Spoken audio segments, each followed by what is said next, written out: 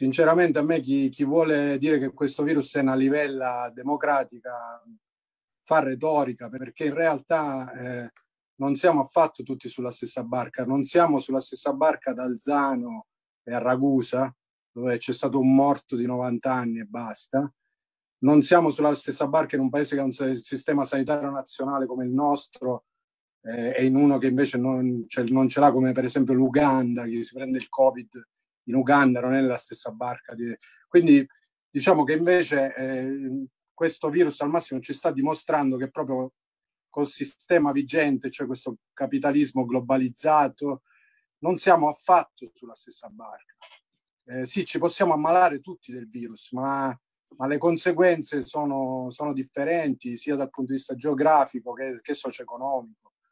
Eh, quindi questo ha creato in realtà eh, tutto l'opposto, cioè invece della compassione di cui ci sarebbe sicuramente bisogno, io ho visto un crescente odio fondamentalmente tra le persone, eh, la, il famoso fenomeno della delazione, per esempio, cioè la caccia al runner, al passeggiatore solitario, eh, fatta da quelli che invece non, ritengono che non si deve manco prendere aria al balcone.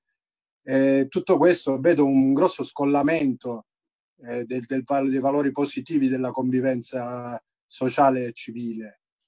E quindi, insomma, il discorso della stessa barca, secondo me, non, non funziona e purtroppo non si verifica soprattutto.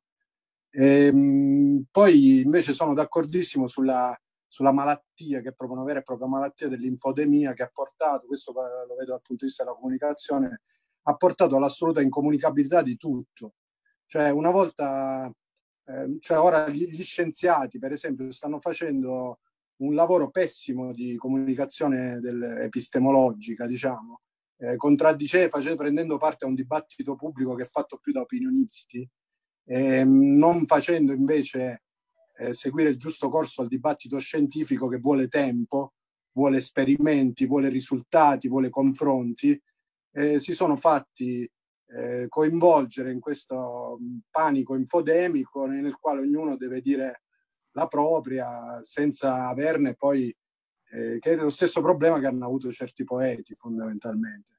E que- lo, la stessa cosa avviene con gli intellettuali, eh, sicuramente mm, loro hanno perso autorevolezza nel dibattito pubblico da, da tanto tempo e lo confermano anche in questa, in questa occasione, senza dubbio. E niente, quindi questo a cosa è dovuto? Secondo me è dovuto alla paura, cioè qui c'è la paura di morire.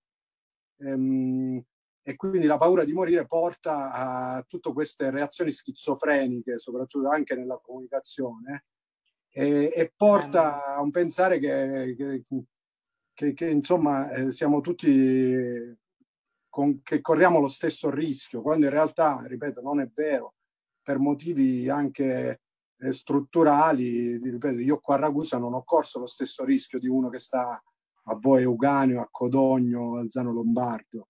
Ci sono poi delle cause, dei motivi anche scientifici di questo, ma eh, non, non, voglio approfondire io un discorso che non è, non è il mio campo. Ehm, io invece vorrei far riflettere su una cosa, cioè mh, ho visto poca paura di avere paura. Cioè la famosa paura di avere paura di cui parlò Calvino in merito alle Brigate Rosse, quando Montale disse che aveva, avrebbe avuto paura a fare il, il, giurato in un processo alle Brigate Rosse, Calvino disse no, io invece ci andrei perché ho paura di avere paura. Ecco, secondo me questa è, potrebbe essere una chiave interessante.